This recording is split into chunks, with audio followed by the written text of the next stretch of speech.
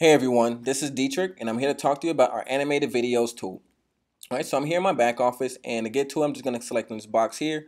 Um, but before I go in, I want to go over our tutorial videos really quickly um, just to show you that we, although there is um, a lot of things for you to work with on the tool, uh, we make it very, very easy for you to go and learn um, step by step how to work with each individual one. Um, so let's come in here to our editor.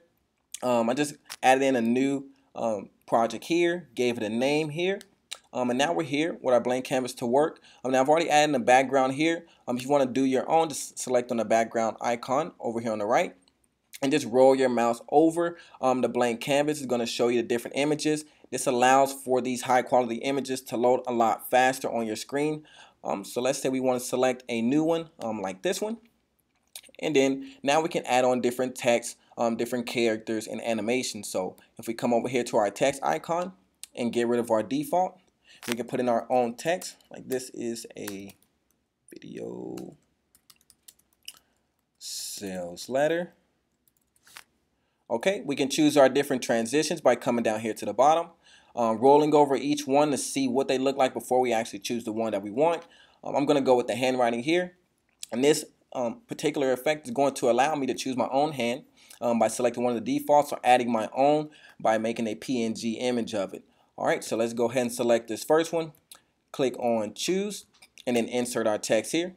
Alright, now what we're going to do is come down here to our timeline and move our cursor down. If you want to create different checkpoints, you cancel by double click on the timeline, getting rid of it by going like so. Alright, now if you go through our tutorials, we do show you how to work more with the timeline, how to get um, the best results out of your images. And what we're going to do is also come over here to our library and show you that we have animated characters for you to work with, static characters as well. You can also create your own avatars by selecting on your faces here.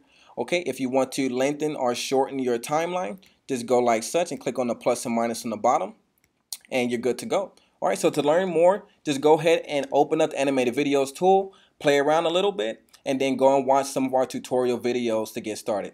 Thank you, and I'll talk to you next time.